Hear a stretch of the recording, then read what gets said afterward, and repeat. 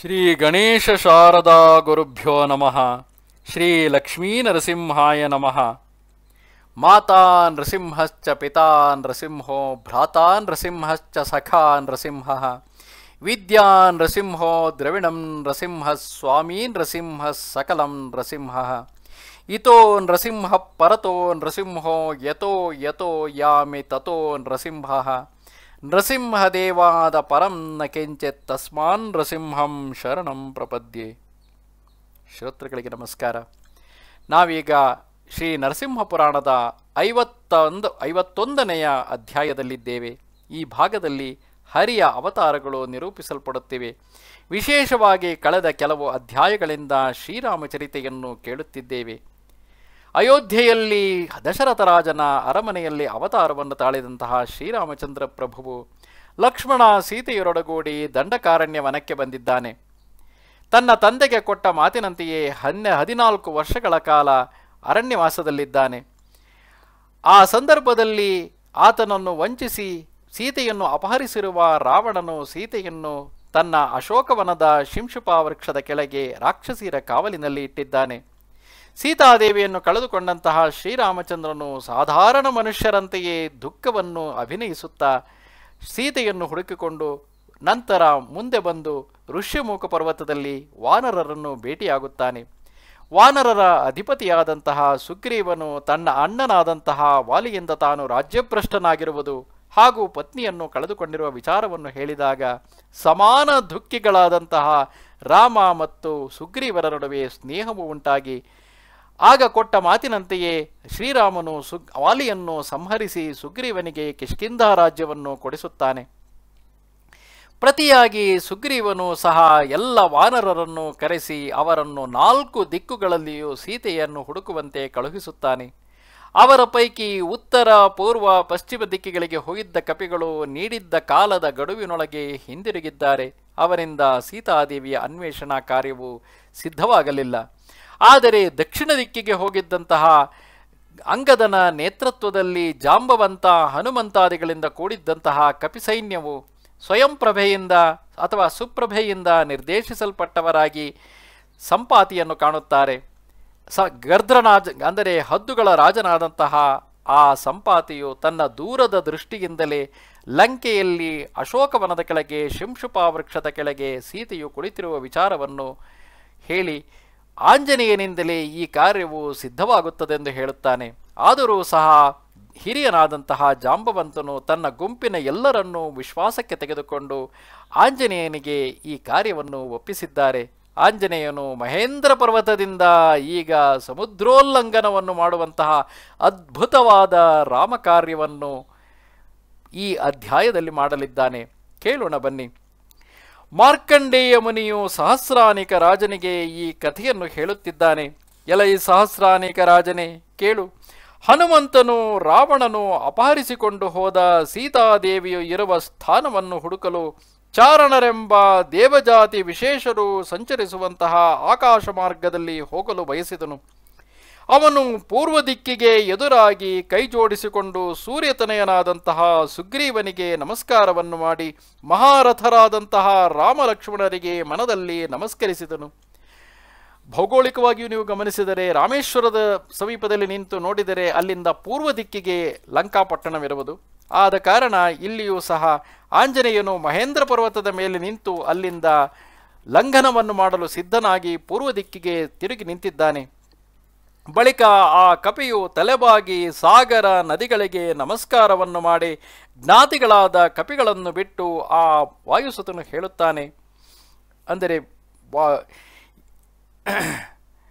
ಎಲೈ ವಾಯುನಂದನನೇ ನೀನು ಮಲಯ ಮಾರುತದಿಂದ ಕೂಡಿ ಪುಣ್ಯ ಮಾರ್ಗದಲ್ಲಿ ಸಂಚರಿಸಿ ಮತ್ತೆ ಹಿಂದಿರುಗಿ ಬರುವುದಕ್ಕಾಗಿ ಸುಖವಾಗಿ ಯಾವ ಅಡ್ಡಿಯೂ ಇಲ್ಲದೆ ಇರುವ ಹಾಗೆ ಹೋಗಿ ಬಾ ಎಂದು ವಾನರರಿಂದ ಹೇಳಲ್ಪಟ್ಟು ಪೂಜಿತನಾದಂತಹ, ವೀರ್ಯವಂತನಾದಂತಹ ಹನುಮಂತನು ಬಳಿಕ ತನ್ನ ಸಾಮರ್ಥ್ಯದಿಂದಲೂ ತೇಜಸ್ಸಿನಿಂದಲೂ ಶಾರೀರಿಕ ಬಲರೂಪವಾದ ಸತ್ವವನ್ನು, ಅಂತರ ಬಲವಾದ ವೀರ್ಯವನ್ನು ತಾಳಿದನು. ದೂರದಿಂದ ಹಾದಿಯನ್ನು ನೋಡುತ್ತಿರುವುದರಿಂದಲೇ ಮೇಲಕ್ಕೆ ದೃಷ್ಟಿಯನ್ನು ಇಟ್ಟವನಾದನು. ಮಹಾಬಲನಾದಂತಹ ಹನುಮಂತನು ತಾನು ಸಮುದ್ರವನ್ನು ದಾಟಿ ಹೋಗಿ ಹಿಂದಿರುಗಿ ಬರುವಷ್ಟು ಸಂಪೂರ್ಣವಾದ ಶಕ್ತಿಯುಳ್ಳವನಾಗಿ ತನ್ನನ್ನು, ಅಂದರೆ ತನ್ನ ಆತ್ಮ ಪ್ರತ್ಯಯವನ್ನು ಭಾವಿಸಿದವನಾಗಿ ಆ ಮಹೇಂದ್ರ ಪರ್ವತದ ಶಿಖರದಿಂದ ಬೆಟ್ಟವನ್ನು ತುಳಿದು ಆಗಸಕ್ಕೆ ಹಾರಿದನು. ಇಲ್ಲಿ ವಿಶೇಷವಾಗಿ ಮನಃಶಾಸ್ತ್ರದ ದೃಷ್ಟಿಯಿಂದ ಗಮನಿಸಬೇಕಾದ ಅದ್ಭುತವಾದ ಅಂಶವೆಂದರೆ, ಮ ಸಮುದ್ರವನ್ನು ದಾಟಿ ಹಿಂದಿರುಗಿ ಬರುವಷ್ಟು ಸಂಪೂರ್ಣ ಶಕ್ತಿಯುಳ್ಳವನಾಗಿ ಮನಸ್ಸಿನಲ್ಲಿ ಮೊದಲು ಭಾವಿಸಿಕೊಳ್ಳುವುದಿದೆಯಲ್ಲ. ಯಾವುದಾದರೂ ಒಂದು ಕಾರ್ಯಕ್ಕೆಂದು ನಾವು ಹೊರಟಾಗ ವಿಶೇಷವಾಗಿ ಆ ಕಾರ್ಯವು ಆಗುವುದೋ ಇಲ್ಲವೋ ಆಗುವುದೋ ಇಲ್ಲವೋ ಎಂಬ ದ್ವಂದ್ವವು ನಮ್ಮಲ್ಲಿ ಆರಂಭವಾಗುವುದು ಸಹಜ. ಆ ದ್ವಂದ್ವವನ್ನು ಮೊದಲು ಗೆಲ್ಲಬೇಕು. ವಿಶೇಷವಾಗಿ ಹೇಳಬೇಕೆಂದರೆ ಯಾವುದೇ ಕೆಲಸವನ್ನು ಭೌತಿಕವಾಗಿ ಮಾಡುವುದಕ್ಕೆ ಮುಂಚೆ, ಅಂದರೆ ವಾಸ್ತವವಾಗಿ ಆ ಕೆಲಸವನ್ನು ಮಾಡುವುದಕ್ಕೆ ಮುಂಚೆ ಮನಸ್ಸಿನಲ್ಲಿ ಆ ಕೆಲಸವನ್ನು ಒಮ್ಮೆ ಸ್ಮರಿಸಿಕೊಂಡು ಮನಸ್ಸಿನಲ್ಲಿ ಅದನ್ನು ಜಯಿಸಬೇಕು. ಮನಸ್ಸಿನಲ್ಲಿ ಆ ಕಾರ್ಯವು ಸಂಪೂರ್ಣವಾಗಿ ಯಶಸ್ವಿಯಾಗಿ ಮುಗಿದಿರುವಂತೆ ಮನಸ್ಸಿನಲ್ಲಿ ಕಲ್ಪಿಸಿಕೊಂಡು, ಕಲ್ಪನೆ ಎಂದು ಅಲ್ಲ, ವಾಸ್ತವವಾಗಿಯೂ ನಾನು ಈ ಕೆಲಸವನ್ನು ಮಾಡಿ ಮುಗಿಸುತ್ತಿದ್ದೇನೆ ಎಂಬ ದೃಢವಾದ ನಿರ್ಧಾರವನ್ನು ಮನಸ್ಸಿನಲ್ಲಿ ತಾಳಬೇಕು. ಮೊದಲು ಮನಸ್ಸಿನಲ್ಲಿ ಗೆದ್ದರೆ ತಾನೇ ಮುಂದೆ ಹೊರಗಡೆ ಗೆಲ್ಲುವುದಕ್ಕೆ ಸಾಧ್ಯವಾಗುವುದು. ಮನಃಶಾಸ್ತ್ರವು ಸಹ ಇದನ್ನು ಬೆಂಬಲಿಸುತ್ತದೆ. ಆ- ಪ್ರಕಾರವಾಗಿ ಮೊದಲು ಯಾರು ಮನಸ್ಸಿನಲ್ಲಿಯೇ ಮಾಡಬೇಕಾಗಿರುವ ಸಂಪೂರ್ಣ ಕಾರ್ಯವನ್ನು ಒಂದು ಬಾರಿ ಗಮನಿಸಿಕೊಂಡು, ಅದರಲ್ಲಿ ಜಯವನ್ನು ಸಾಧಿಸಿದಂತೆ ದೃಢವಾಗಿ ನಿರ್ಧರಿಸಿಕೊಂಡು ಕೆಲಸಕ್ಕೆ ಹೊರಡುವರೋ, ಅಂತಹವರ ಕೆಲಸ ಬಹುತೇಕ ಸಂಪೂರ್ಣವಾದಂತೆಯೇ. ನೀವು ಪ್ರಯತ್ನಿಸಿ ನೋಡಿ. ಯಾವುದೇ ಕೆಲಸವನ್ನು ಮಾಡುವಾಗ ಮೊದಲು ಆ ಕೆಲಸವು ಯಶಸ್ವಿಯಾಗಿರುವಂತೆ ಕಲ್ಪಿಸಿಕೊಂಡು ಅದನ್ನು ಮನಸ್ಸಿನಲ್ಲಿ ದೃಢವಾಗಿ ನಿಶ್ಚಯಿಸಿಕೊಂಡು ನಂತರ ಕೆಲಸವನ್ನು ಮಾಡಲು ಹೊರಡಿ. ಬಹುತೇಕ ಬಹಳಷ್ಟು ಸಂದರ್ಭದಲ್ಲಿ ಅದು ಯಶಸ್ವಿಯಾಗುವ ಸಾಧ್ಯತೆ ಹೆಚ್ಚಾಗಿರುತ್ತದೆ.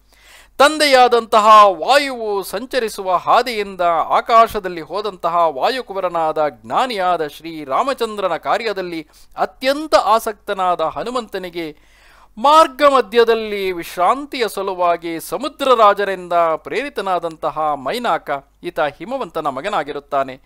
ಆ ಪರ್ವತರಾಜನು ಲವಣ ಸಮುದ್ರದಿಂದ ಮೇಲಕ್ಕೆ ಬಂದನು.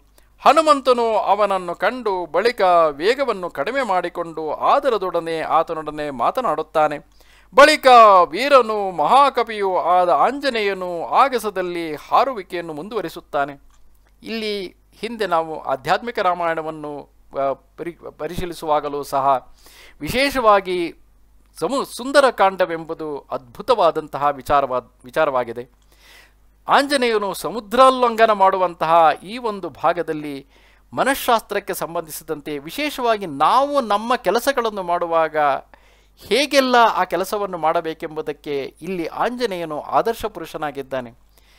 ಈ ಭಾಗವನ್ನು ಸುಂದರಕಾಂಡವೆಂದು ಕರೆಯಲು ಆಂಜನೇಯನಿಗೆ ಸುಂದರ ಎಂಬ ಹೆಸರೂ ಇತ್ತೆಂದು ಹೇಳುತ್ತಾರೆ, ತಿಳಿದವರು ಹೇಳುತ್ತಾರೆ. ಹಾಗೂ ಈ ಪೂರ್ತಿ ಅಧ್ಯಾಯದಲ್ಲಿ ಆಂಜನೇಯನೇ ವಿಶೇಷವಾಗಿರುತ್ತಾನೆ. ಇಲ್ಲಿ ರಾಮಚಂದ್ರನ ವಿಚಾರವಾಗಲಿ, ಬೇರೆ ಯಾರ ವಿಚಾರವೂ ಬರುವುದಿಲ್ಲ. ಆಂಜನೇಯನೇ ಇಡೀ ಈ ಒಂದು ಭಾಗದಲ್ಲಿ ನಾಯಕನಾಗಿ ಮೆರೆಯುತ್ತಾನೆ. ಸ್ವತಃ ಶ್ರೀರಾಮಚಂದ್ರನ ಕಾರ್ಯಕ್ಕೆ ಹೊರಟಿದ್ದರು, ಧರ್ಮದ ಕಾರ್ಯಕ್ಕೆ ಹೊರಟಿದ್ದರೂ ಸಹ ಆತನಿಗೂ ಮಾರ್ಗದಲ್ಲಿ ಹಲವು ಅಡ್ಡಿ ಆತಂಕಗಳು ಒಂದರ ಹಿಂದೊಂದು ಬರುತ್ತವೆ. ನಮಗೂ ಅಷ್ಟೇ.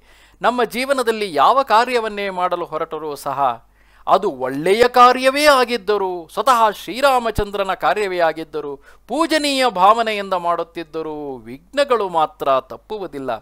ವಿಘ್ನಗಳಿಂದ ಮಾತ್ರಕ್ಕೆ ವಿಘ್ನಗಳೆಲ್ಲವೂ ನಮಗೆ ತೊಂದರೆಯನ್ನೇ ಕೊಡುತ್ತವೆಂದು ಅಲ್ಲ.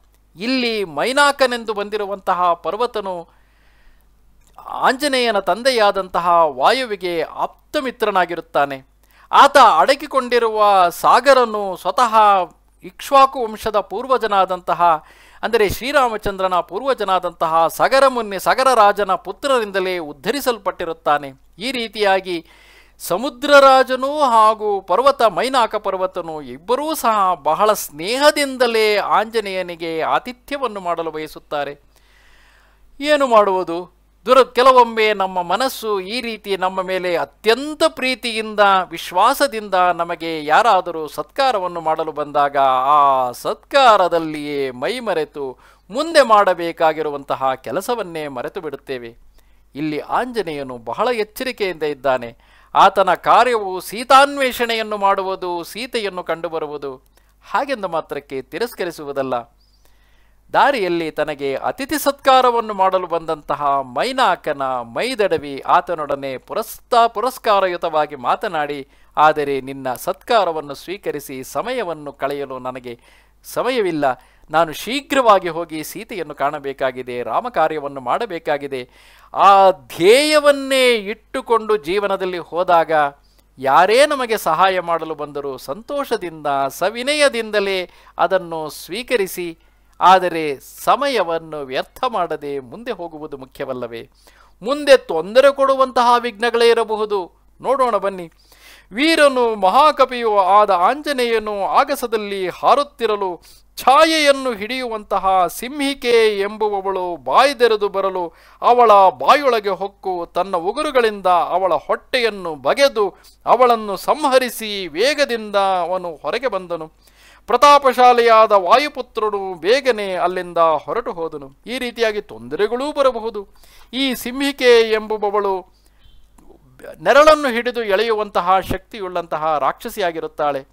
ಅಂದರೆ ನಮ್ಮ ಕಣ್ಣಿಗೇ ಗೋಚರಿಸದಂತಹವಳು ನೆರಳನ್ನು ಹಿಡಿದು ನೆರಳನ್ನು ಎಳೆದ ಮಾತ್ರಕ್ಕೆ ಆ ಪ್ರಾಣಿಯೇ ಅವಳ ಬಾಯಿಯೊಳಗೆ ಹೋಗುವುದೆಂದರೆ ಅದೆಂತಹ ವಿಚಿತ್ರವಾದಂತಹ ಅಡ್ಡಿ ಇರಬಹುದು. ನಮ್ಮ ಕಣ್ಣಿಗೇ ಕಾಣದಂತಹ ಈ ಅಡ್ಡಿ ಆತಂಕಗಳನ್ನು ಕೆಲವೊಮ್ಮೆ ಶಕ್ತಿಯಿಂದ ನಿವಾರಿಸಿಕೊಳ್ಳಬೇಕಾಗುತ್ತದೆ. ಅವಳ ದೇಹದೊಳಗೆ ಹೊಕ್ಕು, ಅವಳ ಹೊಟ್ಟೆಯನ್ನು ಬಗೆದು ಅವಳನ್ನು ಸಂಹರಿಸಿ ಅಲ್ಲಿಂದ ಮುಂದಕ್ಕೆ ಹಾರಿ ಹೋಗುತ್ತಾನೆ. ಆಮೇಲೆ ವಾಯುತನಯನು ಆ ಸಾಗರ ಪ್ರದೇಶವನ್ನು ಹಾರಿ ಮನೋಹರವಾದ ತ್ರಿಕೂಟ ಪರ್ವತದ ಶಿಖರದಲ್ಲಿ ಮರದ ಮೇಲೆ ಕೆಳಗಿಳಿದನು. ಅವನು ಆ ಶ್ರೇಷ್ಠವಾದ ಪರ್ವತದಲ್ಲಿ ಹಗಲನ್ನು ಕಳೆದು ಹಗಲು ಮುಗಿಯುತ್ತಿರಲು ಸಂಧ್ಯಾವಂದನೆಯನ್ನು ಅನುಷ್ಠಿಸಿ ಹಗಲಿನಲ್ಲಿ ತಾನು ಪ್ರವೇಶ ಮಾಡಿದರೆ ಯಾರ ಕಣ್ಣಿಗಾದರೂ ಬೀಳುವ ಸಾಧ್ಯತೆ ಇರುತ್ತದೆ. ಮೊದಲು ನಾವು ಮಾಡಬೇಕಾದ ಕೆಲಸ ಮುಖ್ಯವಲ್ಲವೇ? ಅದಕ್ಕೆ ಮುನ್ನವೇ ನಾವು ಬಂದಿರುವುದು ಉಳಿದವರೆಗೂ ತಿಳಿದು ಹೋದರೆ ಮಾಡುವ ಕೆಲಸ ಕೆಟ್ಟು ಹೋಗುವುದಿಲ್ಲವೇ? ಆ ಒಂದು ಎಚ್ಚರಿಕೆ ನಮ್ಮಲ್ಲಿ ಇರಬೇಕು. ಆದ್ದರಿಂದ ಬಹುತೇಕ ಸಂಜೆಯ ವೇಳೆಗೆ ಹಾರಲು ಆರಂಭಿಸಿರಬೇಕು. ಅಲ್ಲಿಗೆ ಕೂಡಲೇ ತಲುಪಿರುತ್ತಾನೆ. ಸಂಜೆಯು ಕಳೆದು ರಾತ್ರಿಯು ಆರಂಭವಾಗುವುದಕ್ಕಾಗಿ ಆಂಜನೇಯನು ಕಾದಿದ್ದು ತನ್ನ ಸಂಧ್ಯಾವಂದನೆಗಳನ್ನು ಅನುಷ್ಠಿಸಿ, ಬಳಿಕ ರಾತ್ರಿಯಲ್ಲಿ ಲಂಕೆ ಎಂಬ ಪುರರಕ್ಷಕಿಯಾದ ದೇವತೆಯನ್ನು ಜಯಿಸಿ ಮೆಲ್ಲಗೆ ರತ್ನಗಳಿಂದ ತುಂಬಿದ ಅನೇಕ ಆಶ್ಚರ್ಯಗಳಿಂದ ಯುಕ್ತವಾದಂತಹ ಲಂಕಾಪುರಿಯನ್ನು ನೀತಿವಂತನಾದ ವಾಯುಪುತ್ರನು ರಕ್ಕಸರೆಲ್ಲರೂ ಮಲಗಿರುವಾಗ ಒಳಹೊಕ್ಕನು. ಲಂಕೆಯ ದ್ವಾರದಲ್ಲಿ ಲಂಕಿಣಿ ಎಂಬಂತಹ ಪುರದೇವತೆಯು ಪುರರಕ್ಷಕಿ ದೇವತೆಯೊಬ್ಬಳಿರುತ್ತಾಳೆ. ಆಕೆಯು ಅವನನ್ನು ತಡೆದಾಗ ಆಕೆಗೆ ಎದೆಯ ಮೇಲೆ ಗುದ್ದಿ ಆಕೆಯನ್ನು ಕೆಳಗೆ ಬೀಳಿಸುತ್ತಾನೆ. ಆಗ ಆಕೆಯೇ, ಯಾರು ನನ್ನನ್ನು ಹೀಗೆ ಹೊಡೆದು ನಿಷ್ಠೇಷ್ಠಿತಲಾಗಿಸುತ್ತಾರೆಯೋ ಅವರಿಂದಲೇ ರಾವಣನು ಮುಂದೆ ಸಂಹರಿಸ, ಅವರ ಕಡೆಯವರಿಂದಲೇ ರಾವಣನು ಮುಂದೆ ಸಂಹರಿಸಲ್ಪಡುತ್ತಾನೆ ಎಂದು ಆತನನ್ನು ಆಶೀರ್ವದಿಸಿ ಕಳುಹಿಸಿಕೊಡುತ್ತಾಳೆ. ಅಣಿಮಾದಿ ಸಿದ್ಧಿವಂತನಾದ ಹನುಮಂತನು ಬಳಿಕ ರಾವಣನ ಅರಮನೆಯನ್ನು ಹೊಕ್ಕನು. ಇಲ್ಲಿ ವಿಶೇಷವಾಗಿ ಗಮನಿಸಬೇಕಾದಂತೆ ಎಂದರೆ ಸಿದ್ಧಿಪುರುಷನಾದಂತಹ ಆಂಜನೇಯನು ಅಣುವಿನಷ್ಟು ಸಣ್ಣ ರೂಪವನ್ನು ಅಣಿಮಾದಿ ಸಿದ್ಧಿಗಳೆಂದರೆ ಅಣಿಮ, ಪ್ರತಿಮಾ, ಗರಿಮ, ಲಗಿಮ, ಈಶತ್ವ, ವಶಿತ್ವ ಈ ರೀತಿಯಾಗಿ ಅಷ್ಟ ಸಿದ್ಧಿಗಳಿವೆ. ಅದರಲ್ಲಿ ಅಣಿಮ ಸಿದ್ಧಿ ಎಂದರೆ ಅಣುವಿಗಿಂತಲೂ ಸಣ್ಣ ಶರೀರವನ್ನು, ಅತ್ಯಂತ ಸಣ್ಣ ಶರೀರವನ್ನು ಹೊಂದಿ ಯಾರ ಕಣ್ಣಿಗೂ ಬೀಳದಂತೆ ಇಡೀ ಲಂಕಾ ನಗರಿಯಲ್ಲಿ ಸೀತೆಯನ್ನು ಹುಡುಕಲು ತೊಡಗುತ್ತಾನೆ. ಹನುಮಂತನು ರಾವಣನ ಅರಮನೆಯನ್ನು ಹೊಕ್ಕನು. ಅನಂತರದಲ್ಲಿ ವಾನರನು ದೊಡ್ಡದಾದ ಮಂಚದಲ್ಲಿ ಹಾಸಿಗೆಯ ಮೇಲೆ ಮಲಗಿರುವ ರಾವಣನನ್ನು ನೋಡಿದನು. ನಿಶ್ವಾಸೋಚ್ಛ್ವಾಸಗಳಿಂದ ವಾಯುವನ್ನು ಬಿಡುತ್ತಲಿರುವ ಅಂದರೆ ಉಸಿರನ್ನು ಎಳೆದುಕೊಳ್ಳುವುದು ಹೊರಗೆ ಬಿಡುವುದರಿಂದ ಗಾಳಿಯನ್ನು ಸೇವಿಸುತ್ತಲಿರುವ ಭಯಂಕರ ಆಕಾರವು ಮೂಗಿನ ಹೊಳ್ಳೆಗಳಿಂದಲೂ ಅನೇಕ ಕೋರೆಯ ಹಲ್ಲುಗಳಿಂದಲೂ ಕೂಡಿರುವ ಹತ್ತು ತಲೆಗಳುಳ್ಳಂತಹ ಬೃಹತ್ ಶರೀರವನ್ನು ಹೊಂದಿ ಸಾವಿರಾರು ಹೆಣ್ಣುಗಳಿಂದ ತನ್ನ ಅಂತಃಪುರದಲ್ಲಿ ಕೂಡಿಕೊಂಡು ಮಲಗಿರುವಂತಹ ರಾವಣನ ಆ ಶುಭಗ್ರಹದಲ್ಲಿ ಸೀತಾದೇವಿಯನ್ನು ಕಾಣಲಿಲ್ಲ. ಮೂಲ ಸುಂದರಕಾಂಡದಲ್ಲಿ ನೀವು ಅಧ್ಯಯನವನ್ನು ಮಾಡಿದರೆ ಅದ್ಭುತವಾಗಿ ಈ ವಿಚಾರವನ್ನು ಹೇಳುತ್ತಾರೆ. ವಾಲ್ಮೀಕಿಗಳು, ಅಲ್ಲಿ ರಾವಣನ ಅಂತಃಪುರದಲ್ಲಿ ಸೀತೆಯು ಇರುವುದಾದರೂ ಹೇಗೆ ಸಾಧ್ಯ? ಅಂತಹ ಪತಿವ್ರತೆಯಾದಂತಹ ತಾಯಿ ಅಂತಃಪುರಕ್ಕೆ ಪ್ರವೇಶಿಸುವುದಾದರೂ ಹೇಗೆ ಸಾಧ್ಯ? ಮೊದಲು ರಾವಣನ ಅರಮನೆಗೇ ಹೋದರೂ ಸಹ ಆನಂತರದಲ್ಲಿ ಆಂಜನೇಯನಿಗೆ ಅದರ ಅರಿವುಂಟಾಗಿ ಅಂತಃಪುರದಿಂದ ಹೊರಗೆ ಬರುತ್ತಾನೆ. ಅಂತಃಪುರದ ಸ್ತ್ರೀಯರಲ್ಲಿ ಸೀತೆಯನ್ನು ಕಾಣುವುದು ಸಾಧ್ಯವೇ ಇಲ್ಲವೆಂದು. ಹೀಗೆ ಹೆಜ್ಜೆ ಹೆಜ್ಜೆಯಲ್ಲಿಯೂ ಸಹ ಅದ್ಭುತವಾದಂತಹ ಕಥಾನಕವು ಸುಂದರಕಾಂಡ. ಆ ಕಾರಣದಿಂದಾಗಿಯೇ ನಾವು ಹೊರಡುವ ಕೆಲಸವು ಯಶಸ್ವಿಯಾಗಬೇಕೆಂದರೆ ಒಂದು ಬಾರಿ ಸುಂದರಕಾಂಡವನ್ನು ಓದಿಕೊಂಡು ಹೋಗಬೇಕು. ಆಗ ಎಂತೆಂತಹ ತೊಂದರೆಗಳು ಬರಬಹುದು, ಎಂತೆಂತಹ ತಪ್ಪುಗಳು ನಮ್ಮಿಂದ ಜರುಗಬಹುದು, ಈ ಎಲ್ಲ ವಿಚಾರವನ್ನು ಸುಂದರಕಾಂಡವು ತಿಳಿಸುತ್ತದೆ. ಯಾವುದೇ ನಮ್ಮ ಇತಿಹಾಸ, ಪುರಾಣ ಶಾಸ್ತ್ರಗಳ ಅಧ್ಯಯನವು ಪರಲೋಕದ ಸಾಧನೆಗೆ ಎಂದು ಭ್ರಮೆಯಲ್ಲಿ ಕೂಡ ತುಂಬಿರಬಾರದು. ಆ ಕಾಲದಲ್ಲಿ, ಹಿಂದಿನ ಕಾಲದಲ್ಲಿ ಬಹುಶಃ ಆಗಿನ ಜನರು ಹೆಚ್ಚಾಗಿ ಪರಲೋಕದ ವಿಷಯವಾಗಿಯೇ ಚಿಂತನೆಯನ್ನು ಮಾಡುತ್ತಿದ್ದಿರಬಹುದು. ಆ ಕಾರಣದಿಂದಾಗಿ ಹಾಗೆ ಹೇಳಿರಬಹುದು. ಸ್ವರ್ಗ ನರಕಗಳು ಇವೆಯೋ ಇಲ್ಲವೋ ತಿಳಿದವರಾರು. ನಮ್ಮ ಎಲ್ಲ ಪುರಾಣೇತಿಹಾಸಗಳು, ಶಾಸ್ತ್ರಗಳು ಸಹ ಹೇಳುವುದು ಈ ಜಗತ್ತಿನಲ್ಲಿ ನಾವು ಬದುಕುವುದು ಹೇಗೆ ಎಂಬುದನ್ನು. ಈ ಜಗತ್ತಿನಲ್ಲಿ ನಾವು ಯಶಸ್ವಿಯಾಗಿ ಬದುಕಿದರೆ ತಾನೇ ಮುಂದೆ ನಾವು ಯಾವ ಜಗತ್ತಿಗೆ ಹೋದರೂ ಆನಂದದಿಂದ ಇರಲು ಸಾಧ್ಯ. ಇಲ್ಲೇ ನಾವು ಆನಂದದಿಂದಲೂ ಯಶಸ್ವಿಯಾಗಿಯೂ ಬದುಕದೇ ಹೋದರೆ ಸ್ವರ್ಗವೇ ನಮ್ಮ ಕೈಗೆ ಸಿಕ್ಕರೂ. ನಾವು ಸಂತೋಷ ಪಡುತ್ತೇವೆಂಬುದಕ್ಕೆ ಖಾತರಿಯಾದರೂ ಏನು? ಅಲ್ಲವೇ? ಇರಲಿ. ಹಾಗೆಯೇ ಒಂದು ಮನೋಹರವಾದ ಕೊಠಡಿಯಲ್ಲಿ ರಾಕ್ಷಸರೊಡೆಯನಾದಂತಹ ರಾವಣನು ಮಲಗಿದ್ದನು. ಆಗ ದುಂಬಾನಗೊಂಡ ವಾಯುಸುತನು ಸಂಪಾತಿ ಎಂಬ ಹದ್ದಿನ ನುಡಿಯನ್ನು ಸ್ಮರಿಸುತ್ತಾ ಅನೇಕ ತೆರನಾದ ಹೂವುಗಳಿಂದ ತುಂಬಿರುವ ಸುಗಂಧಿಯಾದಂತಹ ಚಂದನವುಳ್ಳ ಮಲೆಯ ಮಾರುತನಿಂದ ಸುವಾಸನೆಗೊಂಡ ಗೊಂಡಿರುವ ಆ ಒಂದು ಅಶೋಕವನಕ್ಕೆ ಬಂದನು. ಆ ವನವನ್ನು ಆಂಜನೇಯನು ಹೊಕ್ಕು ಶಿಂಶುಪ ವೃಕ್ಷವನ್ನು ಆಶ್ರಯಿಸಿದ್ದ ಜನಕರಾಯನ ಕುವರಿಯಾದ ರಕ್ಕಸರಿಯಿಂದ, ರಕ್ಕಸಿಯರಿಂದ ಜೋಕೆಯಿಂದ ನೋಡಿಕೊಳ್ಳಲ್ಪಡುತ್ತಿದ್ದ ಶ್ರೀರಾಮನ ಮಡದಿಯನ್ನು ಕಂಡನು. ಆ ವಾನರನು ಹೂಬಿಟ್ಟ ಮನೋಹರವಾದ ತಳಿರುಗೊಂಡ ಆ ಒಂದು ಶಿಂಶುಪ ವೃಕ್ಷವನ್ನೇರಿ ಇವಳೇ ಸೀತಾದೇವಿ ಎಂದು ನೆನೆಯುತ್ತಾ ಕಾದು ಕುಳಿತುಕೊಂಡನು. ಸೀತಾದೇವಿಯನ್ನು ನಿರೀಕ್ಷಿಸಿ ಮರದ ತುದಿಯಲ್ಲಿ ವಾಯುಸುತನು ಕುಳಿತಿರುವ ಹೊತ್ತಿನಲ್ಲಿಯೇ ರಾವಣನು ತನ್ನ ಹೆಣ್ಣುಗಳಿಂದ ಸುತ್ತುವ, ಸುತ್ತುವರಿಯಲ್ಪಟ್ಟವನಾಗಿ ಅಲ್ಲಿಗೆ ಬರುತ್ತಾನೆ. ರಾವಣನು ಅಲ್ಲಿಗೆ ಬಂದವನಾಗಿ ಸೀತೆಯನ್ನು ಕುರಿತು ಈ ರೀತಿಯಾಗಿ ಹೇಳುತ್ತಾನೆ. ಎಲವು ಪ್ರಿಯೆ, ಕಾಮುಕನಾದಂತಹ ನನ್ನನ್ನು ಸೇವಿಸು, ಅಲಂಕರಿಸಿಕೋ. ಎಲವು ವಿದೇಹರಾಯ ಕುವಾರಿಯೇ ರಾಮನಲ್ಲಿರುವ ನಿನ್ನ ಮನಸ್ಸನ್ನು ಬಿಟ್ಟು ಬಿಡು ಈ ತೆರನಾಗಿ ಮಾತನಾಡುತ್ತಲಿರುವ ಆ ರಾವಣನಿಗೆ ಬಳಿಕ ನಡುಗುತ್ತಲಿರುವ ಸೀತಾದೇವಿಯು ನಡುವೆ ಒಂದು ಹುಲ್ಲು ಕಡ್ಡಿಯನ್ನು ಇಟ್ಟುಕೊಂಡು ಈ ವಿಚಾರವನ್ನು ಹೇಳುತ್ತಾಳೆ. ಈ ವಿಚಾರವಾಗಿಯೂ ಸಹ ಹಲವು ರೀತಿಯಾದಂತಹ ವ್ಯಾಖ್ಯಾನಗಳಿವೆ. ರಾವಣನನ್ನು ಒಂದು ಹುಲ್ಲು ಕಡ್ಡಿಗೆ ಸಮಾನವಾಗಿ ಆ ತಾಯಿಯು ನೋಡುತ್ತಿದ್ದಳು. ಹಾಗೂ ಪರಪುರುಷನಾದ ರಾವಣನನ್ನು ದಿಟ್ಟಿಸಿ ನೋಡುವುದು ಯೋಗ್ಯವಲ್ಲವೆಂದು ಭಾವಿಸಿ ಪತಿವ್ರತೆಯಾದಂತಹ ಸೀತೆಯು ತಮ್ಮ ನಡುವೆ ಒಂದು ಹುಲ್ಲು ಕಡ್ಡಿಯನ್ನು ಇಟ್ಟುಕೊಂಡು ಮಾತನಾಡುತ್ತಿರಬಹುದೆಂದು ಕೆಲವು ವ್ಯಾಖ್ಯಾನಗಳು ಹೇಳಿದರೆ, ಇನ್ನೂ ಅತ್ಯದ್ಭುತವಾದ ವಿಚಾರವೊಂದನ್ನು ಒಂದು ವ್ಯಾಖ್ಯಾನದಲ್ಲಿ ಅದ್ಭುತವಾಗಿದೆ. ಅಲ್ಲಿ ಏಕೆ ತಾಯಿ ಹುಲ್ಲು ಕಡ್ಡಿಯನ್ನು ಇಟ್ಟುಕೊಂಡು ಮಾತನಾಡುತ್ತಿರುವಳೆಂದರೆ, ಆಕೆ ಏನಾದರೂ ದೃಷ್ಟಿಸಿ ನೋಡಿದರೆ ಒಂದೋ ರಾವಣನು ಸುಟ್ಟು ಹೋಗಿಬಿಡಬಹುದು. ಏಕೆಂದರೆ ಜಗನ್ಮಾತೆ ಆಕೆಯ ದೃಷ್ಟಿಗೆ ಬಿದ್ದಾಗ ಆಕೆ ಆಕೆಯಲ್ಲಿ ಕೋಪವೇನಾದರೂ ಇದ್ದರೆ ಎದುರಿಗಿದ್ದವನು ಭಸ್ಮವಾಗುವುದು ಖಚಿತ. ಆಗ ರಾಮಾಯಣವೇ ತಿರುವು ಮುರುವಾಗಿ ಬಿಡುತ್ತದೆ. ರಾಮನು ಬಂದು ರಾವಣನನ್ನು ಸಂಹರಿಸಬೇಕಲ್ಲವೇ? ಇದು ಒಂದು ವಿಚಾರವಾದರೆ ಅದಕ್ಕಿಂತಲೂ ಅದ್ಭುತವಾದ ವಿಚಾರವೆಂದರೆ ಒಂದೊಮ್ಮೆ ತಾಯಿಯ ದೃಷ್ಟಿಯು ಯಾ, ವಾಸ್ತವವಾಗಿ ತಾಯಿಯ ದೃಷ್ಟಿ ಯಾರ ಮೇಲೆ ಬಿದ್ದರೂ ಸಹ ಅವರಲ್ಲಿ ವಿವೇಕವು ಕೂಡಲೇ ಜಾಗೃತವಾಗುತ್ತದೆ. ಹಾಗಿರುವಾಗ ಒಂದೊಮ್ಮೆ ಸೀತಾದೇವಿಯು ರಾವಣನ ಮೇಲೆ ದೃಷ್ಟಿ ಹರಿಸಿದಾಗ ಅವನಿಗೇನಾದರೂ ವಿವೇಕವು ಜಾಗೃತವಾಗಿ ಬಿಟ್ಟರೆ ಕೂಡಲೇ ಸೀತಾದೇವಿಯನ್ನು ಶ್ರೀರಾಮನಿಗೆ ಒಪ್ಪಿಸಿ ಶರಣಾಗಿ ಬಿಡುವುದಿಲ್ಲವೇ? ಹಾಗಿದ್ದಾಗ ಸಂಹಾರ ಕ್ರಿಯೆಯು ನಡೆಯುವುದಾದರೂ ಹೇಗೆ? ಅದ್ಭುತವಾಗಿದೆಯಲ್ಲವೇ? ಈ ರೀತಿಯಾಗಿ ತಾಯಿಯು ಒಂದು ಹುಲ್ಲು ಕಡ್ಡಿಯನ್ನು ಹಿಡಿದುಕೊಂಡು ಆ ಹುಲ್ಲು ಕಡ್ಡಿಯನ್ನು ಉದ್ದೇಶಿಸಿ ಹೀಗೆ ಹೇಳುತ್ತಿರುವಳು. ಎಲೈ ಹೆರರ ಮಡದಿ ಅಂದರೆ ಅನ್ಯರ ಮಡದಿಯಲ್ಲಿ ಮನವಿಟ್ಟಿರುವಂತಹ ದುಷ್ಟನಾದ ರಾವಣನೇ, ನೀನು ಹೊರಟು ಹೋಗು. ಯುದ್ಧದಲ್ಲಿ ಶ್ರೀರಾಮನ ಬಾಣಗಳು ಶೀಘ್ರವದಿಂದಲೇ ನಿನ್ನ ರೆತ್ತ ನಿನ್ನ ರಕ್ತವನ್ನು ಹೀರಲಿವೆ. ಸೀತಾದೇವಿಯ ನುಡಿಯು ಸೀ ಈ ಸೀತಾದೇವಿಯ ನುಡಿಗೆ ಹಾಗೆಯೇ ಆಗಲೆಂದು ಹೇಳಿದವನಾಗಿ ತಿರಸ್ಕೃತನಾದ ರಾಕ್ಷಸನು ರಾಕ್ಷಸಿಯರಿಗೆ, ಆತನೇ ಸೀತೆಯನ್ನು ಸುತ್ತುವರಿದಿದ್ದ ರಾಕ್ಷಸಿಯರಿಗೆ ಈ ರೀತಿಯಾಗಿ ಹೇಳುತ್ತಾನೆ. ಎಲ್ಲವೂ ರಾಕ್ಷಸಿಯರಿರ, ಈ ಮಾನುಷಿಯನ್ನು ಎರಡು ತಿಂಗಳೊಳಗೆ ಸ್ವಾಧೀನ ಮಾಡಿರಿ. ಸೀತೆಯು ನನ್ನನ್ನು ಬಯಸದೇ ಹೋದಲ್ಲಿ ಈ ಮಾನುಷಿಯನ್ನು ನಾನು, ಅಂದರೆ ಆ ಸೀತೆಯನ್ನು ನಾನು ತಿಂದು ಬಿಡುವೆನು ಎಂದು ಹೇಳಿ ದುಷ್ಟನಾದ ರಾವಣನು ತನ್ನ ಮನೆಗೆ ಹೊರಟು ಹೋದನು.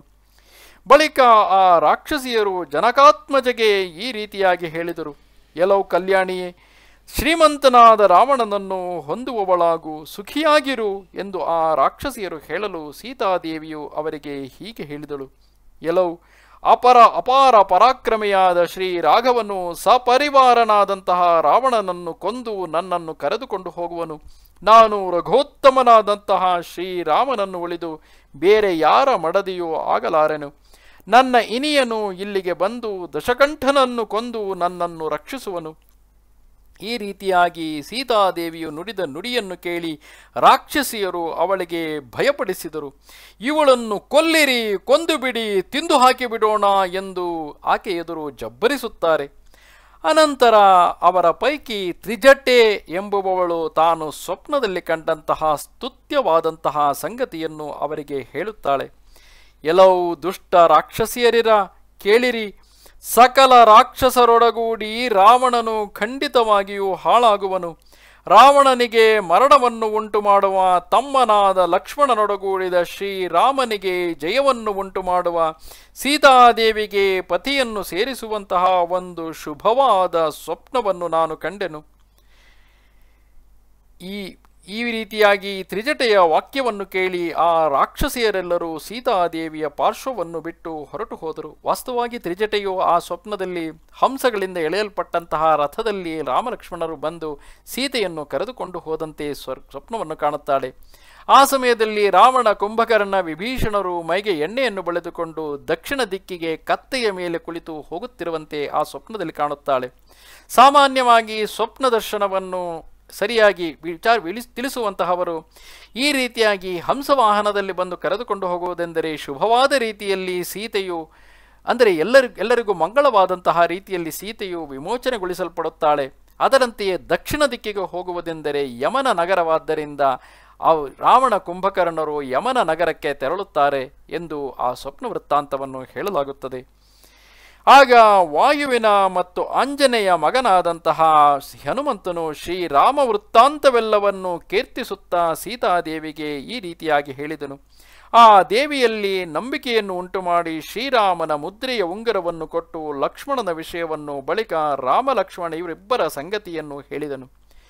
ಮೊದಲು ಸೀತಾದೇವಿಗೆ ನಂಬಿಕೆ ಬರಬೇಕಲ್ಲವೇ? ಆದ್ದರಿಂದ ಮೆಲುದನಿಯಲ್ಲಿ ರಾಮಾಯಣದ ರಾಮನ ಚರಿತ್ರೆಯನ್ನು ಆಂಜನೇಯನು ಹೇಳತೊಡಗುತ್ತಾನೆ. ಆ ಚರಿತ್ರೆಯಲ್ಲಿ ದಂಡಕಾರಣ್ಯಕ್ಕೆ ಬಂದಿದ್ದನ್ನು ಮುಂದುವರಿಸಿ ಅಲ್ಲಿಂದ ಸುಗ್ರೀವನಿಗೆ ಸಖ್ಯ ಉಂಟಾದದ್ದು.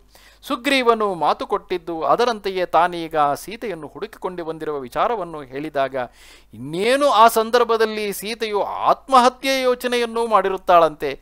ಆದರೆ ತನಗೆ ಆಪ್ತವಾದಂತಹ ಕಥೆಯನ್ನು ಕೇಳಿ ಕುತೂಹಲ ಭರಿತಳಾಗಿ ಯಾರು ಈ ಕಥೆಯನ್ನು ಹೇಳುತ್ತಿರಬಹುದು ಎಂದು ಆಶ್ಚರ್ಯದಿಂದ ನೋಡುತ್ತಾಳೆ. ಆಗ ಕಪಿಯಾದಂತಹ ಆಂಜನೇಯನು ಆಕೆಯ ಎದುರಿನಲ್ಲಿ ಪ್ರಕಟನಾಗಿ ಆಕೆಗೆ ಸಾಂತ್ವನವನ್ನು ಹೇಳಿ, ಗುರುತಿಗಾಗಿ ಕೊಟ್ಟಿರುವಂತಹ ಮುದ್ರೆಯ ಉಂಗರವನ್ನು, ಅಂತೆಯೇ ಹಿಂದೆ ನಡೆದಂತಹ ಕಾಕಾಸುರನ ವೃತ್ತಾಂತವನ್ನು ಹೇಳುತ್ತಾನೆಂದು ಕೆಲವು ಕಥೆಯಲ್ಲಿ ಬರುತ್ತದೆ. ಕೆಲವೆಡೆ, ಇಲ್ಲ, ಈ ವಿಚಾರವನ್ನು ಸೀತೆಯೇ ಆಂಜನೇಯನಿಗೆ ತಿಳಿಸಿ ರಾಮನಿಗೆ ಹೇಳುವಂತೆ ಹೇಳುತ್ತಾಳೆ ಎಂಬುದು ಬರುತ್ತದೆ. ನೋಡೋಣ. ಸುಗ್ರೀವನೆಂಬ ಕಪಿರಾಜನು ದೊಡ್ಡ ಸೇನೆಯೊಡಗೂಡಿರುವನು. ಎಲವು ತಾಯೇ ನಿಮ್ಮ ಪತಿಯು ಪ್ರಭುವೂ ಆದ ಶ್ರೀರಾಮನು ಸುಗ್ರೀವನೆಂಬ ಕಪಿನಾಯಕನೊಡಗೂಡಿ ಇಲ್ಲಿಗೆ ಬರುವನು. ಎಲವು ಶುಭಾನನೆಯೇ. ನಿಮ್ಮ ಮೈದುನನಾದ ಮಹಾಪರಾಕ್ರಮಿಯಾದ ಲಕ್ಷ್ಮಣನು ಪರಿವಾರದೊಡಗೂಡಿದ ರಾವಣನನ್ನು ಸಂಹರಿಸಿ ಇಲ್ಲಿಂದ ನಿಮ್ಮನ್ನು ಕರೆದುಕೊಂಡು ಹೋಗುತ್ತಾನೆ. ಇಂತೂ ಆಂಜನೇಯನು ಹೇಳಲು ಆ ದೇವಿಯು ಆತನಲ್ಲಿ ವಿಶ್ವಾಸಗೊಂಡು ಬಳಿಕ ವಾಯುಪುತ್ರನಿಗೆ ಹೇಳಿದಳು, ಎಲೈ ವೀರನೇ, ನೀನು ಮಹಾಸಮುದ್ರವನ್ನು ದಾಟಿ ಇಲ್ಲಿಗೆ ಹೇಗೆ ಬಂದೆ? ಎಂದು ದೇವಿಯು ಹೇಳಲು ಆ ಮಾತನ್ನು ಕೇಳಿದವನಾದ ವಾನರನಾದಂತಹ ಹನುಮಂತನು ಆ ದೇವಿಗೆ ಹೇಳುತ್ತಾನೆ ಎಲೋ ವರಾನನೆಯೇ ನಾನು ಗೋಷ್ ಅಂದರೆ ಬಹಳ ಸುಲಭವಾಗಿ ಈ ಸಮುದ್ರವನ್ನು ದಾಟಿದೆನು. ಹೇಗೆಂದರೆ, ಶ್ರೀ ರಾಮ ಎಂದು ಜಪಿಸುತ್ತಿರುವ ನನಗೆ ಇಡೀ ಸಮುದ್ರವೇ ಒಂದು ಸಣ್ಣ ಗೋಷ್ಪದಂತೆ, ಅಂದರೆ ಒಂದು ಗೋವು ಅಂದರೆ ಗೋವು ಹಸಿಯಾದ ನೆಲದಲ್ಲಿ ಪಾದವನ್ನು ಊರಿದರೆ ಎಷ್ಟು ಅಗಲದ ಒಂದು ಹೊಂಡವಾಗುತ್ತದೆಯೋ ಆ ರೀತಿ ರಾಮನಾಮ ಸ್ಮರಣೆಯನ್ನು ಮಾಡುತ್ತಿದ್ದರೆ ಅಷ್ಟು ಬೃಹತ್ತಾದ ಸಮುದ್ರವು ಕೇವಲ ಒಂದು ಹಸುವಿನ ಗೊರಸಿನಿಂದ ಉಂಟಾಗುವಂತಹ ಪುಟ್ಟ ಗುಂಡಿಯಂತೆ ಆಗುತ್ತದೆ. ಅದನ್ನು ಅಷ್ಟು ಸುಲಭವಾಗಿ ನಾನು ರಾಮನಾಮ ಸ್ಮರಣೆಯನ್ನು ಮಾಡುತ್ತಾ ಅದನ್ನು ದಾಟಿ ಬಂದೆ ಎಂದು ಆಂಜನೇಯನು ಹೇಳುತ್ತಾನೆ. ಎಲ್ಲೋ ವೈದೇಹಿಯೇ, ತಾವು ದುಃಖದಲ್ಲಿ ಮುಳುಗಿರುವಿರಿ, ಸ್ಥಿರಚಿತ್ತರಾಗಿರಿ. ನೀವು ಬೇಗನೆ ಶ್ರೀರಾಮನನ್ನು ಕಾಣುವಿರಿ. ನಿಮಗೆ ಸತ್ಯವಾದುದನ್ನು ಅರಿಕೆ ಮಾಡುತ್ತಿರುವೆನು. ಈ ರೀತಿಯಾಗಿ ಸತಿಯೂ ದುಃಖಿತೆಯೂ ಆದ ಜನಕಾತ್ಮಜೆಯಾದ ಸೀತಾದೇವಿಯನ್ನು ಸಮಾಧಾನಗೊಳಿಸಿ ದೇವಿಯಿಂದ ಶ್ರೀರಾಮಾಭಿಜ್ಞಾನಾರ್ಥವಾಗಿ ಮುದ್ರಾಮಣಿ ಮಾಣಿಕ್ಯವಾದಂತಹ ಚೂಡಾಮಣಿಯನ್ನು ತೆಗೆದುಕೊಂಡು ಶ್ರೀರಾಮನು ಕಾಕಾಸುರನನ್ನು ದಂಡಿಸಿದ ವೃತ್ತಾಂತವನ್ನು ಸೀತೆಯಿಂದ ತಿಳಿದುಕೊಂಡವನಾಗಿ ಲಂಕೆಯಿಂದ ಹಿಂದಿರುಗಲು ನಿಶ್ಚಯಿಸಿ ವೀರನಾದ ಆಂಜನೇಯನು ಹೊರಟನು. ಬಳಿಕ ಪುರದ್ವಾರದಲ್ಲಿದ್ದು ಗಟ್ಟಿಯಾಗಿ ವೀರ್ಯವಂತನಾದ ಶ್ರೀರಾಮನು ಸತ್ವ ಸರ್ವೋತ್ಕೃಷ್ಟನಾಗಿರುತ್ತಾನೆ ಎಂದು ಅಬ್ಬರಿಸಿದನು.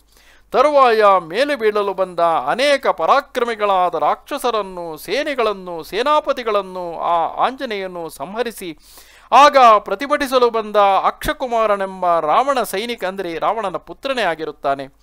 ಸಾರಥಿ ಕುದುರೆಗಳೊಡನೆ ಸಂಹರಿಸಿದನು. ಬಳಿಕ ಇಂದ್ರಜಿತುವು ಇನ್ನೊಬ್ಬ ಪುತ್ರನು ಬಂದು ಬ್ರಹ್ಮಾಸ್ತ್ರದಿಂದ ಕಟ್ಟಿ ರಾವಣನ ಎದುರಿಗೆ ಕರೆದುಕೊಂಡು ಹೋಗಲು. ರಾವಣನ ಎದುರಿನಲ್ಲಿ ನಿಂತು ಪರಾಕ್ರಮಿಗಳಾದ ಶ್ರೀ ರಾಮ, ಲಕ್ಷ್ಮಣ, ಸುಗ್ರೀವರನ್ನು ಕೊಂಡಾಡಿ ಲಂಕೆಯನ್ನು ಸಮಗ್ರವಾಗಿ ಸುಟ್ಟು ದುಷ್ಟನಾದ ರಾವಣನನ್ನು ಧಿಕ್ಕರಿಸಿ ಮತ್ತೊಮ್ಮೆ ಸೀತಾದೇವಿಯನ್ನು ಮಾತನಾಡಿಸಿ ಪುನಃ ಸಮುದ್ರವನ್ನು ದಾಟಿ ಬಂದು ಜ್ಞಾತಿಗಳಾದ ಕಪಿಗಳನ್ನು ಹೊಂದಿದವನಾಗಿ. ಪರಾಕ್ರಮಶಾಲೆಯಾದ ಹನುಮಂತನು ತಾನು ಸೀತಾದೇವಿಯನ್ನು ಕಂಡ ಸಂಗತಿಯನ್ನು ಅರ್ಹಿ ಅವರಿಂದ ಪೂಜಿತನಾದನು. ಅನಂತರದಲ್ಲಿ ಹನುಮಂತನು ವಾನರರೊಡನೆ ಹಿರಿದಾದ ಮಧುವನಕ್ಕೆ ಬಂದನು. ಅಲ್ಲಿ ಕಾವಲುಗಾರರನ್ನು ವಂದಿಸಿ ಎಲ್ಲರಿಗೂ ಮಧುವನ್ನು ಪಾನ ಮಾಡಿಸಿ ಆ ವನಾಧಿಪತಿಯಾದ ತುಷ್ಟನಾದಂತಹ ದಧಿಮುಖನೆಂಬ ಕಪಿಯನ್ನು ಹೊಂದಿದನು. ಅಂದರೆ ಈ ಮಧುವನವು ಸುಗ್ರೀವನಿಗೆ ಅತ್ಯಂತ ಪ್ರಿಯವಾದ ವನವಾಗಿರುತ್ತದೆ. ಸಾಮಾನ್ಯವಾಗಿ ಯಾವುದೇ ಕೆಲಸವು ಯಶಸ್ವಿಯಾದರೆ ಕೊನೆಯಲ್ಲಿ ನಾವು ಪಾರ್ಟಿ ಮಾಡುವುದು ಎಂದು ಹೇಳುವುದಿಲ್ಲವೇ? ಅದೇ ರೀತಿಯಾಗಿ ಇಲ್ಲಿ ಸೀತಾದೇವಿಯನ್ನು ಕಂಡು ಬಂದಂತಹ ಆನಂದದಲ್ಲಿ ಎಲ್ಲ ಕಪಿಗಳು ಸಹ ಆ ಮಧುವನಕ್ಕೆ ಹೋಗಿ ಯಥೇಚ್ಛವಾಗಿ ಮಧುವನ್ನು ಸೇವಿಸುತ್ತವೆ. ಆ ವನಕ್ಕೆ ಕಪಿಗಳು ಬೇರೆಯವರು ಕಾಲಿಟ್ಟು ಹಾಳು ಮಾಡುವುದೆಂದರೆ ಸುಗ್ರೀವನ ಕೋಪಕ್ಕೆ ಗುರಿಯಾದಂತೆಯೇ. ಆದರೆ ಯಾವಾಗ ದಧಿಮುಖನೆಂಬ ಆ ವನರಕ್ಷಕನು ಬಂದು ಸುಗ್ರೀವನಿಗೆ ವಿಚಾರವನ್ನು ಹೇಳುತ್ತಾನೆಯೋ, ಆಗ ಇವರು ಕೆಲಸವನ್ನು ಮಾಡಿಕೊಂಡೇ ಬಂದಿರಬೇಕೆಂದು ಸುಗ್ರೀವನು ಸಂತೋಷಗೊಳ್ಳುವನೇ ಹೊರತು ಅವರು ವಧುವನವನ್ನು ಹಾಳು ಮಾಡಿದರಲ್ಲ ಎಂದು ಕೋಪಗೊಳ್ಳುವುದಿಲ್ಲ. ಶ್ರೀ ರಾಮಲಕ್ಷ್ಮ ಬಳಿಕ ಆಂಜನೇಯನು ಕಪಿಗಳೊಡನೆ ಆಗಸದಲ್ಲಿ ಹಾರಿಕೊಂಡು ಬಂದು ಶ್ರೀ ರಾಮಲಕ್ಷ್ಮಣರ ಮತ್ತು ಸುಗ್ರೀವನ ಚರಣಾರವಿಂದಗಳಿಗೆ ನಮಸ್ಕಾರ ಮಾಡಿದನು. ವಿಶೇಷವಾಗಿ ಮೊದಲಿನಿಂದಲೂ ಸಮುದ್ರ ಲಂಘನವೇ ಮೊದಲಾದ ವೃತ್ತಾಂತವೆಲ್ಲವನ್ನು ಕಪಿರಾಜನಾದ ಸುಗ್ರೀವನೊಡನಿದ್ದ ಶ್ರೀ ರಾಮಲಕ್ಷ್ಮಣರ ಸನ್ನಿಧಾನದಲ್ಲಿ ಅರಿಕೆ ಮಾಡಿಕೊಂಡು ಅಶೋಕವನದ ನಡುವೆ ಅತ್ಯಂತ ದುಃಖಿತೆಯಾದ ಸೀತಾದೇವಿಯನ್ನು ತಾನು ಕಂಡೆನೆಂದು ಆಂಜನೇಯನು ಶ್ರೀರಾಮನಿಗೆ ವಿಜ್ಞಾಪಿಸಿದನು. ಎಲೈ ಸ್ವಾಮಿಯೇ ರಕ್ಕಸಿಯರಿಂದ ಪರಿವೃತಳಾಗಿ ಯಾವಾಗಲೂ ನಿನ್ನನ್ನೇ ಸ್ಮರಿಸುತ್ತಾ ಕಂಬನಿಯಿಂದ ತುಂಬಿದ ಮುಖವುಳ್ಳವಳು, ದೀನೆಯೂ ಆದ ನಿನ್ನ ಮಡದಿಯಾದ ವರ ನನೆಯಿರುವಳು ಅಲ್ಲಿಯೂ ಜನಕಾತ್ಮಜೆಯಾದ ದೇವಿಯು ಶೀಲದಿಂದಲೂ ತನ್ನ ಪಾತಿವೃತ್ಯದಿಂದಲೂ ಕೂಡಿರುವವಳಾಗಿ ತಾನು ಎಲ್ಲೆಡೆಯಲ್ಲಿಯೂ ಹುಡುಕುತ್ತಾ ಇದ್ದವನು, ಆ ಭಾಗದಲ್ಲಿ ಆಕೆಯನ್ನು ಕಂಡೆನು. ಎಲೈ ರಘುನಂದನನೇ, ನನ್ನಲ್ಲಿ ನಂಬಿಕೆಗೊಂಡ ಸೀತಾದೇವಿಯನ್ನು ನಾನು ಮಾತನಾಡಿಸಿದನು. ಎಲೈ ಪ್ರಭುವೆ, ಅವರು ನಿನಗೆ ಕೊಟ್ಟಿರುವಂತಹ ಅನರ್ಘ್ಯ ರತ್ನಯುಕ್ತವಾದ ಚೂಡಾಮಣಿಯನ್ನು ಅಭಿಜ್ಞಾನಾರ್ಥವಾಗಿ ಕಳುಹಿಸಿರುತ್ತಾರೆ. ಇಂತು ನುಡಿದು ಹನುಮಂತನು ಶ್ರೀರಾಮನಿಗೆ ಅತ್ಯುತ್ತಮವಾದ ಆ ಚೂಡಾಮಣಿಯನ್ನು ಕೊಟ್ಟನು. ಎಲೈ ಸ್ವಾಮಿಯೇ, ನಿನಗೆ ನಿನ್ನ ಪತ್ನಿಯು ಹೇಳಿರುವ ಸಂದೇಶವನ್ನು ಕೇಳು. ಎಲೈ ಮಹಾವ್ರತನೆ ಚಿತ್ರಕೂಟದಲ್ಲಿ ನನ್ನೊಡಲನ್ನು ನಿನ್ನಲ್ಲಿಟ್ಟು ಮಲಗಿರಲು, ಅಂದರೆ ಶ್ರೀರಾಮಚಂದ್ರನು ಸೀತೆಯ ತೊಡೆಯ ಮೇಲೆ ತಲೆಯಿಟ್ಟು ಮಲಗಿರಲು, ಕಾಕಾಸುರನು ಮಾಡಿದ ತಿರಸ್ಕಾರವನ್ನು, ಅಂದರೆ ಆಕೆಯನ್ನು ಕುಕ್ಕಿ ಕುಕ್ಕಿ ಮಾಡಿದಂತಹ ಗಾಯವನ್ನು, ಎಲೈ ರಾಜನೇ, ನೀನು ಸ್ಮರಿಸಿಕೊಳ್ಳಲು ಅರ್ಹನಾಗಿರುತ್ತೀಯೇ. ಎಲೈ ಪ್ರಭುವೆ, ರಾಜೇಂದ್ರನೇ, ಸ್ವಲ್ಪವಾದ ತಪ್ಪನ್ನೆಸಗಿದ ಆ ಬಲೆಯನ್ನು ತಿನ್ನತಕ್ಕಂತಹ ಕಾಕಾಸುರನು ನೀನು ಯಾವ ಕಾಕಾಸುರನಿಗೆ ನೀನು ಯಾವ ಪ್ರತೀಕಾರವನ್ನು ಮಾಡಿದೆಯೋ, ಅಂದರೆ ಹಿಂದೆ ಆ ಕಾಕಾಸುರನಂದರೆ ಒಂದು ಕಾಗೆಯು ಬಂದು ಸೀತೆಯನ್ನು ಕುಕ್ಕಿ ಗಾಯ ಮಾಡಿದ ಕಾರಣದಿಂದಲೇ ಕೋಪಗೊಂಡಂತಹ ಶ್ರೀರಾಮಚಂದ್ರನು ಒಂದು ಹುಲ್ಲು ಕಡ್ಡಿಯನ್ನು ಮಂತ್ರಿಸಿ ಅದರನ್ನು ಬ್ರಹ್ಮಾಸ್ತ್ರವನ್ನು ಅಭಿಮಂತ್ರಿಸಿ ಆ ಕಾಗೆಯ ಮೇಲೆ ಬಿಡುತ್ತಾನೆ.